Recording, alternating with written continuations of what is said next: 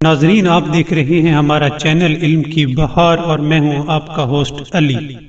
नाजरीन, जब हज़रत आदम सलाम ज़मीन पर उतरे तो अल्लाह ताला ने हज़रत जिब्राइल सलाम को हुक्म दिया कि तुम एक पत्थर कोहे सफ़ा से लो, दूसरा पत्थर कोहे मरवा से लो, तीसरा पत्थर कोहे तूर से, और चौथा पत्थर कोहे सलाम से लेकर बैतुल्लाह की बुनियाद बनाओ। नाजरीन, तब हज़रत जिब्राइल सलाम ने एक पत्थर कोहे सफ़ा से लिया, दूसरा कोहे मरवा से, तीसरा कोहे तूर से और चौथा पत्थर कोहे सलाम से लेकर बैतुल्ला की बुनियादों में रख दिए और उनके निशानात बना दिए। फिर अल्लाह ने हज़रत जिब्राइल सलाम को वही की कि तुम पत्थरों से मशरक और मगरब में दो दरवाजे बनाओ। तब हज़रत जिब्राइल सलाम ने मशरक और मगरब में दो दरवाजे बना दिए और यूँ बैतुल्लाह की बुनियाद रखी गई। नाजरीन, इससे हमें सबक मिलता है कि खाना काबा की बुनियाद चार पत्थरों से रखी गई, जो कि कोहे सफ़ा, कोहे मरवा, कोहे तूर और कोहे सलाम से लिए गए थे।